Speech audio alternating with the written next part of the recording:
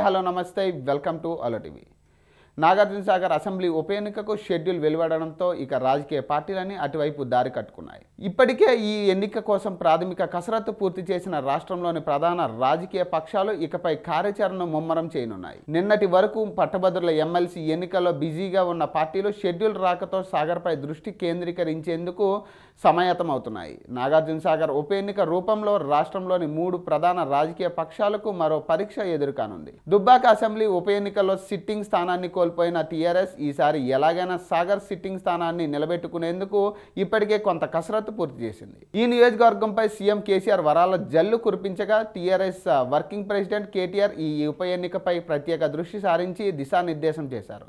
ఇప్పటికే మండలాల వారీగా ఎమ్మెల్యేలను ఇన్ఛార్జీలను నియమించారు.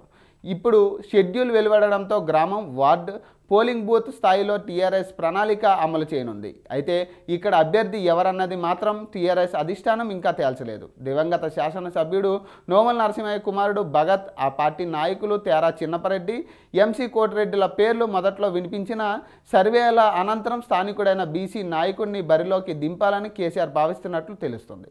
ఇక ఈ ఎన్నిక కోసం ఏకంగా టీపీసీసీ అధ్యక్ష ఎంపికనే వాయిదా వేసుకున్న కాంగ్రెస్ పార్టీ కూడా సాగర్లో గెలుపు కోసం శతవిధాలా ప్రయత్నించనుంది. ఇక్కడి నుంచి సీనియర్ నేత కె. జానారెడ్డిని అభ్యర్థిగా మంగళవారం ప్రకటించింది. జానారెడ్డి ఆయన కుమారుడు రఘువీర్లు ఇప్పటికే రెండుసార్లు నియోజకవర్గాన్ని చుట్టువచ్చారు వీలున్న చోట్లల్లా తమ నుంచి దూరంగా వెళ్ళిన వారిని మళ్ళీ హక్కున చేర్చుకునే ప్రయత్నం చేస్తున్నారు. ఈ ఎన్నికల్లో గెలుపు అనివార్యం కావడంతో టీపీసీసీ అధ్యక్షుడు ఉత్తమ్ కుమార్ రెడ్డి భువనగిరి ఎంపీ కోమటిరెడ్డి వెంకటరెడ్డిలు ఇక నుంచి జానారెడ్డికి అందుబాటులో ఉండాలని నిర్ణయించుకున్నారు.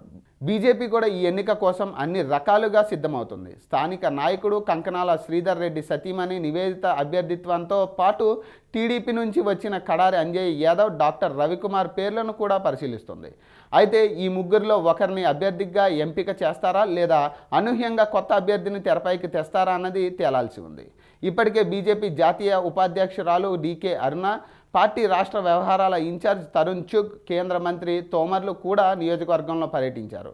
షెడ్యూల్ వెలువడడంతో ఇక రాష్ట్ర కమల్నాథులందరూ సాగర్ బాట పట్టనున్నారు. మొత్తం మీద సాగర్ ఎన్నిక రసవత్రంగా మారడం ఖాయం.